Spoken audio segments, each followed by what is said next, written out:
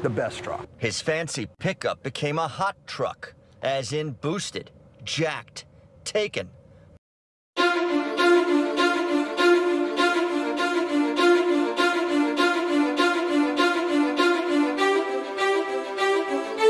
stealing brand new vehicles from outside the factories in which they were made. And one automaker seems to be getting hit especially hard. 2022 Ram trucks swiped right off a lot in Shelby Township. I will look for you. I will find you.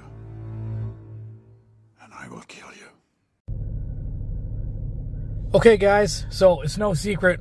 so I'm just getting over uh, SARS, H1N1, I don't know, chlamydia, whatever it is getting over some shit.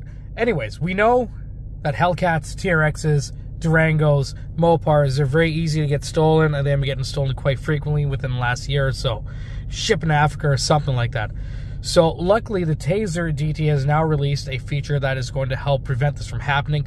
It requires using a pin. The pin is a sequence of uh, basically using up and down arrow, left and right arrows of your choosing to enable that to deter someone from stealing the truck. What happens is when that's armed and you go to start your vehicle, every time you go to start your truck, you'll need to enter this pin. That also includes if you're using your remote starter, which is still a great feature. Hop in, set it all up, get your pin together, and you're good to go. So we're going to go ahead and see if we can get this set up now here. Uh, as usual, uh, we're going to scroll down to our radio settings. If you haven't seen my previous video on setting this up for your vehicle, please check it out. I will put a link in the description as well. It'll just kind of show you more of uh, the Amber DRLs, turn signal cameras, stuff like that. I know previously for the 21s, everything worked great, but there were some issues on the 22s and 23s. But all of that should have been released uh, today, I believe.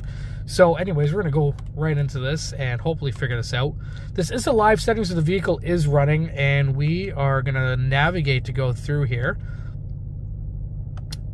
Yeah, we don't really care about that brake hold. In motion off, turn cam off, kill honk, parking camera, auto fold, amber DRL. Let's set our pin. So we are going to use our plus, our left, and our right arrows to set up the pin here.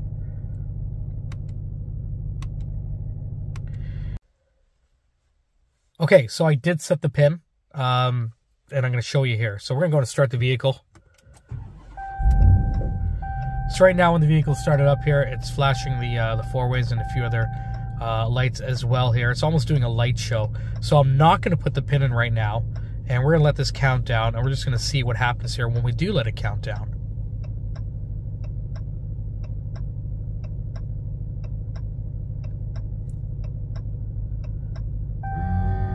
All right. Pin is locked. Our ABS is flashing here. I'm going to go ahead and put this in drive. The vehicle is in drive right now.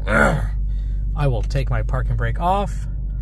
And uh, as you can see, we are in drive there. And uh, I'm not able to actually move the vehicle.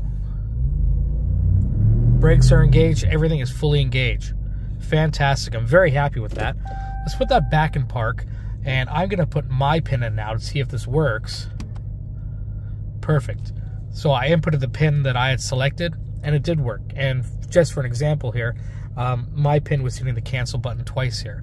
So now that we know that uh, that feature does work, let's see if it does work with our remote starter as well. Okay, we're going to go and just remote start here.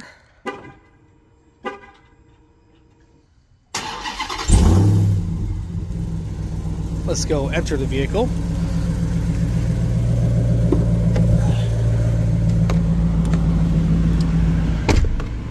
Sitting in the truck, remote start active. We're gonna hit our run button here. Once again, we are being prompted to count down for the pin again here. Uh, same thing. I'm gonna let it go all the way down. Then we're just gonna hop out, look at the lights going off. Is that really necessary? I don't think it is, but I'm gonna do it anyways, you know? Light show functions. So this is just doing a uh, complete countdown here. Um, and then we'll just review kind of what we did again. Perfect. ABS locks of everything there. And uh, yeah, it's still going off. And you know what? Sorry. We're going to put it back in drive here again. Vehicle's not in park, not letting me go. Also because the door's probably open as well here. Sorry. I'm just all over. But anyways, back to park. Back to drive.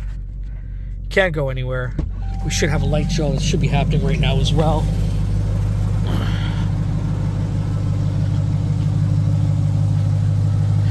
We do. We have the lights all going off here. This will hopefully alert somebody to what's happening in the nighttime, as likely when these vehicles are being uh, stolen here. So we're gonna hop back in.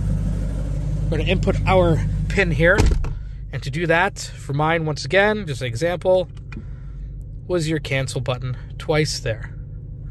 So I'm gonna put this back in the park. It shows that the pin has been unlocked as I hit my uh, sequence of buttons here, and then we are able I always use my parking brake because I'm there like that. We're able to move around. Okay. Back in park. Let's uh, review here.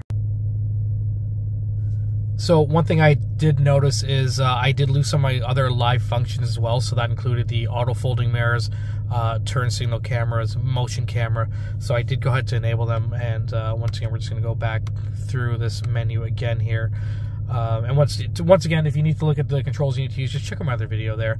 I'm having a real hard time figuring out how to hold this damn phone and uh, navigate through here and successfully do it without it looking like crap. In motion, so I did enable that again, along with my turn signal camera, along with the uh, parking camera, which I find is really useful, uh, especially in drive-throughs. I mean, I could drive, but there's a couple times that I've almost hit some shit.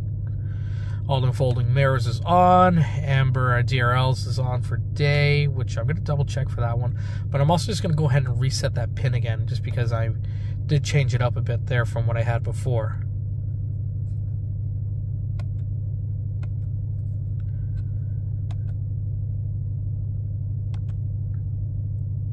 And then it shows you your sequence there again.